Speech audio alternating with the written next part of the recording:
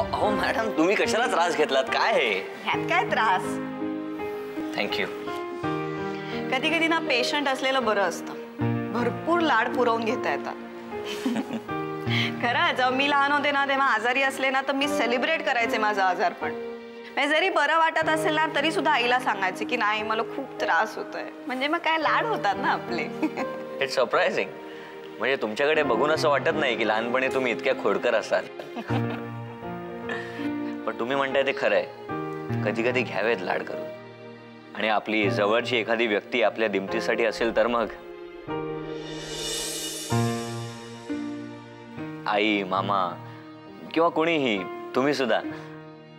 माझ्यासाठी एवढी धावपळ करतायत हे माझ्यासाठी नवीनच आहे. धावपळ काय त्यात? मी तर माझ्या परीने जेवढं जमतंय तेवढंच करते. पण एवढं तरी का करताय मॅम?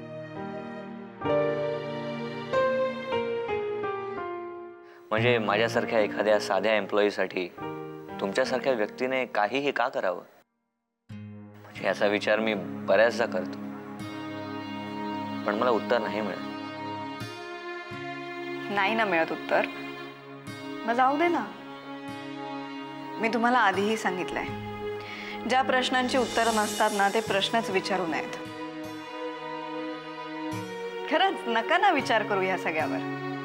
नाही पण असे काय प्रश्न पडलेत रोहितला की ज्याची उत्तरं तुमच्याकडे नाहीयेत मधुरा मॅडम? नाही काय नाही. आम्ही कंपनीच्या एका इश्यू बद्दल बोलत होतो. ओ आय सी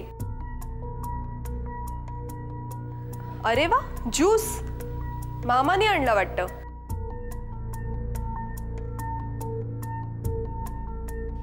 चला येते मी आता. दीपा पण आली आहे काळजी घ्या. बाय दीपा